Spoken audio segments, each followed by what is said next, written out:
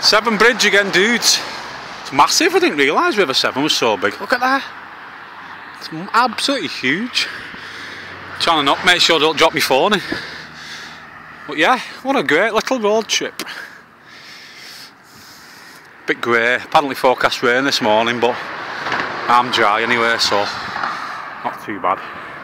I'm hardcore.